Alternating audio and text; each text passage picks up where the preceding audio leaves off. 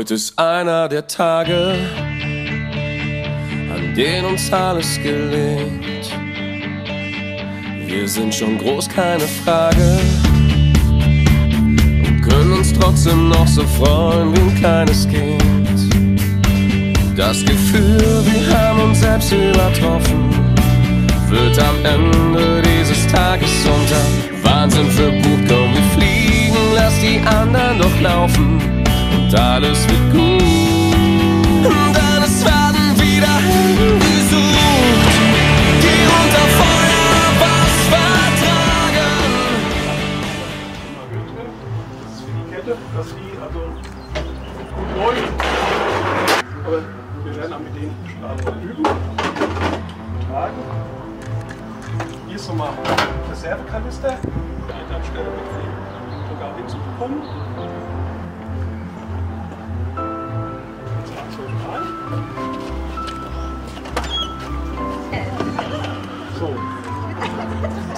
Jetzt habt ihr euch alle schön hingesetzt, das, das passt ja schon.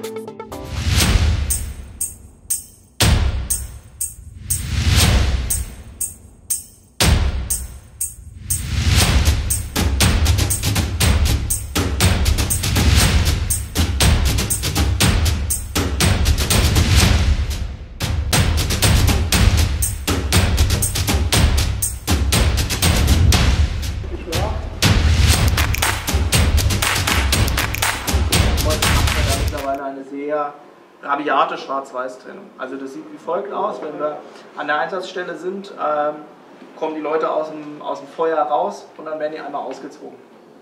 Tut die komplett bis auf die Unterwäsche und kriegen neue Klamotten. Noch vor Ort, dass das Zeug sofort wegkommt. Hier dann nochmal reduziert, der steuert praktisch, wie viel Luft in die Maske kommt.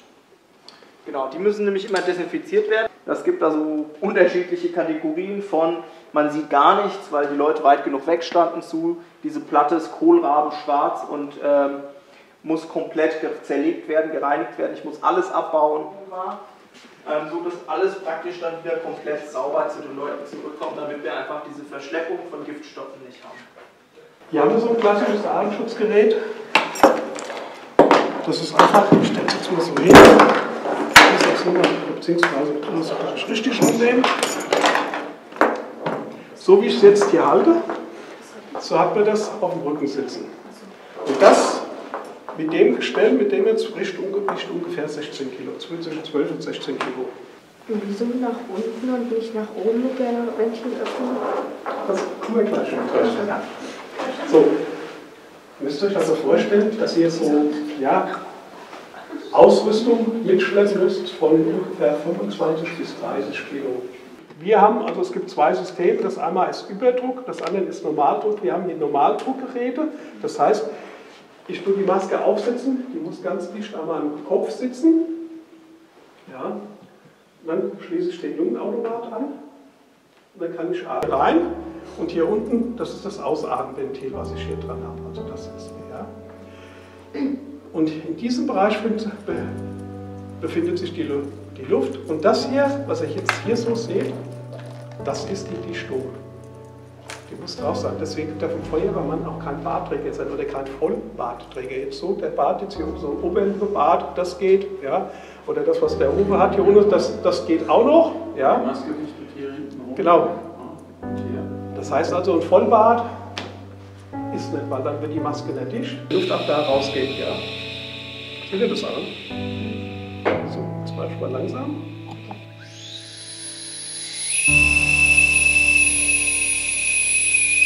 Das ist die Restluftwarneinrichtung.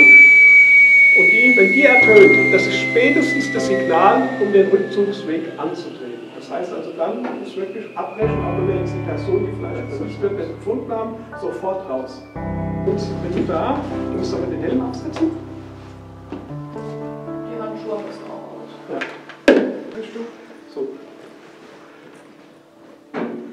Ziehst du die Überwältigung über den Kopf. Darf ich dir mal helfen? Pass mal auf. Mach, mach nur mal kurz ab, bitte. Ich das sehe. So. Genau. Jetzt nimm das vordere Teil wieder drauf. So. so. Jetzt, jetzt hast du die Verbänderung drüber. Jetzt nehmen wir gerade hier oben nochmal. Und jetzt gehst du erstmal hin. Siehst einmal hier beide auf der linken, mal hier die Hand und die andere Hand hier drüber und das, das Teil. Und jetzt ziehst du das mal nach hinten zu. So. Und jetzt gehst du hin, machst du das Kopfteil hier oben, ziehst du mal zu. Hier oben, genau. So, und jetzt hast du hier neben nochmal. Hier hast du nochmal eins und da. Genau. Die ziehst du jetzt auch nochmal kräftig zu. So. Und jetzt, jetzt kannst du feststellen, ob das. Darf, darf schon mal gucken auf der Nase? Doch, das ist jetzt gut.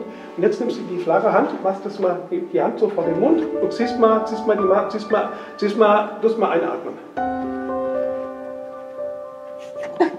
Hast du das jetzt gesehen? Die Mas oder habt ihr das gesehen? Mach's nochmal hier hinten, dass ihr das alles seht. Einfach so hin. Habt ihr gesehen, wie die Maske sich an, den, an das Gesicht ran? Das ist die Dichtprüfung. Und somit ist die Maske jetzt auch dicht. Ja?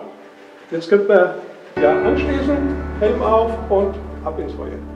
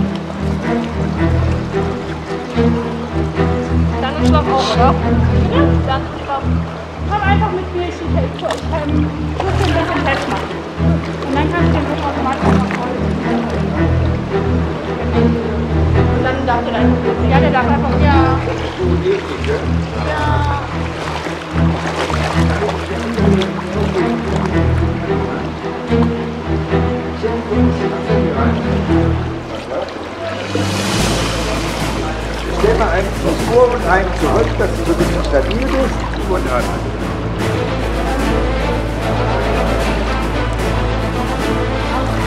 Ja, ich aber mal den Knäuel machen. Jetzt ist mal die Luft ganz raus und jetzt mal auf den Kopf oder was da kommt. Kalt und zu groß.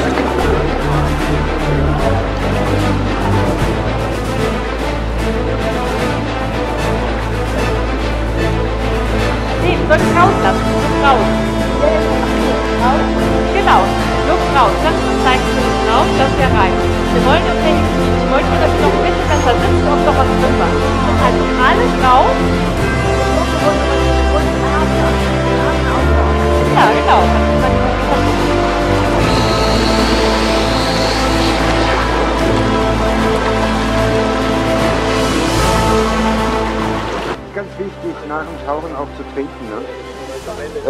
Vorstellen, unsere Luft, die wir jetzt geatmet haben, äh, habt ihr ja aus Stahlflaschen geatmet. Und das von Luftfeuchtigkeit habt ihr ja auch alle schon was gehört, ne? dass sowas gibt. Ne? Und bevor wir diese Luft in die Flaschen da reinpressen, ziehen wir alles Wasser, was wir kriegen können, da raus. Die ist total trocken, habt ihr sicherlich auch gemerkt, wenn man einen trockenen Hals kriegt. Ne? Ihr verliert bei dem, was wir eben gemacht haben, mindestens ein Dreiviertel bis ein Liter Wasser. Ich hoffe, ihr habt alle ein bisschen Spaß gehabt. Ähm, ich habe schon zu einigen gesagt, uns hat es auch sehr viel Spaß gemacht. Ihr war eine ganz tolle Truppe. Äh, und so viele Mädchen in eurem Alter auf dem hohen Niveau, was ihr uns geboten habt, finden wir selten. War echt toll, was ihr da gemacht habt. Das war gut. Das war sehr interessant. Aber was Neues auf jeden Fall. Es war, wackelig. war schön unter Wasser zu atmen wie bei den Meerjungfrauen. Nein, Meerjungfrauen sind frei. Also am Anfang Am Anfang habe ich noch gemerkt, meine Atmung war nicht regelmäßig. Also es war noch so ein bisschen hektisch und dann aber wurde das so regelmäßig, dann habe ich mich dran gewöhnt. Ja, dann hat man auch vergessen, dass man das Ding im Mund hat. So. Man hat irgendwie immer das Gefühl, man hat, bekommt keine Luft. Aber dann wusste man ja, die Flasche ist da und man ist gesichert und alles ist gut. Ja. Da kann ich zustimmen. Ja, Am Anfang muss ich den Oktopus nehmen. Ich glaube, ich würde das auch mal machen. Naja, Meer heißt ja auch auf jeden Fall was anderes. Es ist viel tiefer und ja, also das heißt schon auf jeden Fall was anderes. Tat voller Erfolg. Ja, auf jeden Fall. Sehr schön.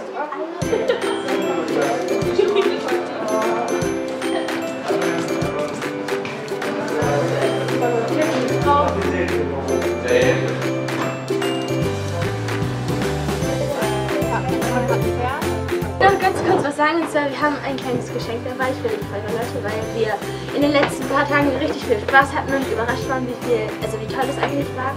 Und deswegen wollten wir das noch übergeben an euch als Erinnerung, dass wir da Wir möchten einfach mal Danke sagen, weil es war so toll, was alles für uns gemacht wurde. Ja, super. Ja, dann.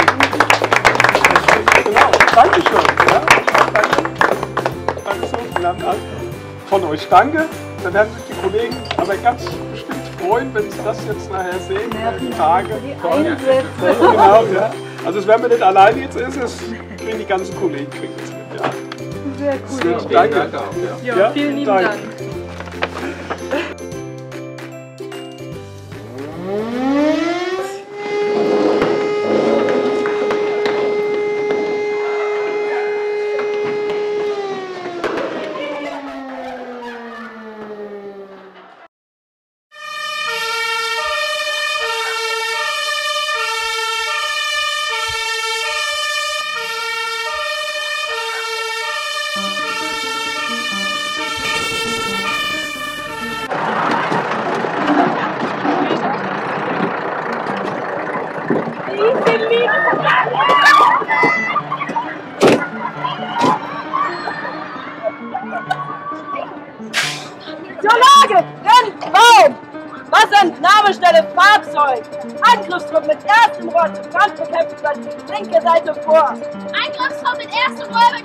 über die linke Seite zur Brandbekämpfung vor. Aus!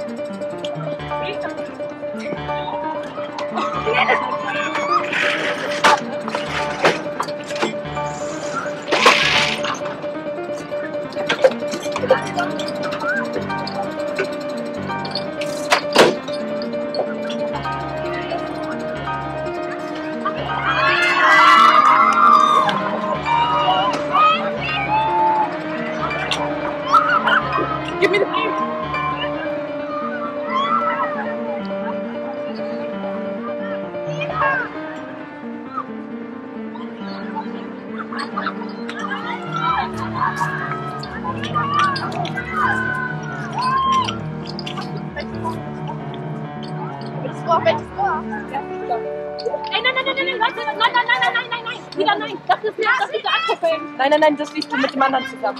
Nein, das ist kein anderes. Das ist warte, warte, warte, warte, Leute, ich warte mal auf mich. Lass, lass, lass.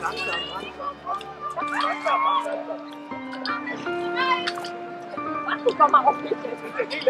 Kommt mal hier rüber. Stellt euch jetzt mit. So, das bei euch seht, kommt hier mit. Geht wieder rüber. Das hängt so gerne. Wasserdruck mit zweitem Rohr zur Brandbekämpfung über die rechte Seite vor! Wasserdruck, zweites Rohr über die rechte Seite vor. Wieder!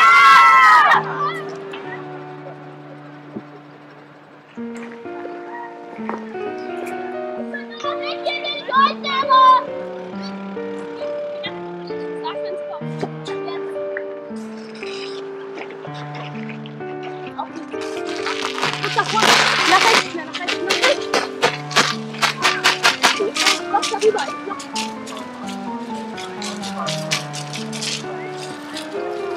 Mom,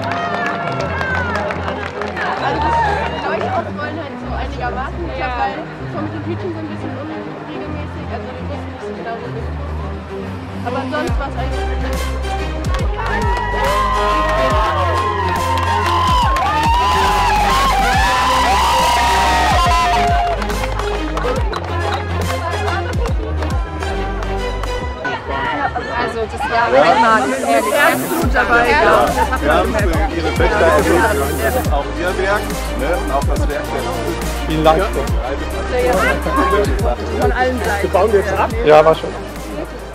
Wir haben ein fantastisches Projekt in der diesjährigen Projektwoche gehabt. Es hieß Mädchen an die Schläuche. Dabei ging es darum, in Kooperation mit der Bad Homburger Feuerwehr unseren Schülerinnen das, die Arbeit, die Tätigkeiten der Feuerwehr näher zu bringen. Es ist durch eine Kooperation entstanden. Die Feuerwehr engagiert sich, ist auf uns zugekommen und so haben wir dieses wunderbare Projekt durchführen können. Die Maria-Wart-Schule ist eine Mädchenschule. Wir genießen es, Mädchen auf alle Berufe des Lebens vorbereiten zu können. Und deswegen ist gerade auch die Feuerwehr eine wunderbare Möglichkeit für unsere Schülerinnen, Kompetenzen zu erwerben, Selbstbewusstsein zu entwickeln, sich zu entwickeln und einen nicht unbedingt typischen Frauenberuf in Erwägung zu ziehen. Und dieses Projekt ist jetzt schon mehrere Jahre immer wieder gestartet in den alljährlichen Projekttagen, die am Ende des Schuljahres stattfinden. Und es geht in dieser Zeit ganz besonders darum, dass man Lernen in anderen Kontexten erlebt, dass man ähm, abseits vom Schulraum draußen mit anderen Personen zusammen sich erproben kann, Dinge erleben kann, out of the box lernen kann. Das finden wir immer sehr, sehr, sehr zielführend. Ja, ich konnte die jungen Frauen die Woche auch schon bei uns auf der Feuerwache begleiten. Man hört ja im Hintergrund schon die Fangemeinde und äh, dem kann ich nur zustimmen. Eine großartige Aktion, dass die jungen Frauen sich mit der Feuerwehr beschäftigt haben, mittendrin waren und auch Begeisterung dafür gefunden haben. Das freut mich als Feuerwehrdezernenten ganz persönlich. Also es wird sich rumsprechen, auch an anderen Schulen, dass es die Möglichkeit gibt, mal reinzuschnuppern. Und wer will denn schon nicht schon mal einen Alltag der Feuerwehr miterleben? Also ich würde mich freuen, wenn auch andere Schulen mit dabei wären. Das Projekt äh, Feuerwehr in der Schule, ein Projekt, das vom Landesfeuerwehrverband äh, entwickelt worden ist und hier im Hochtaunuskreis seinen Ursprung hat, ist ein äh, ganz besonderes Format der Jugendfeuerwehrarbeit. Wir sind stolz und glücklich, dass wir mit der Maria Ward Mädchenschule hier in Bad Homburg einen Partner haben, mit äh, denen wir seit Jahren dieses Projekt erfolgreich umsetzen. Die Kombination Jugendfeuerwehr und reine Mädchenschule war eine Herausforderung, eine großartige Chance. Wir haben nach einer Woche ein hervorragendes Team. Wir sind völlig begeistert von diesen jungen Mädchen. Ähm, wir haben gelernt, dass diese jungen Mädchen äh, einen Teil unserer Zukunft darstellen, dass wenn die Mädchen etwas wollen, dass sie es schaffen werden. Und äh, diese Kombination ist für uns auch als Feuerwehr eine riesengroße Bereicherung. Das Team ist begeistert von dieser Woche und diesen Spirit, den haben wir heute in der Übung erlebt. Diesen Spirit haben wir gespürt, den nehmen wir mit. Und äh, das ist für uns, so wie für die Teilnehmerinnen hier von der Maria-Wart-Schule, eine ganz großartige und fantastische Erfahrung gewesen.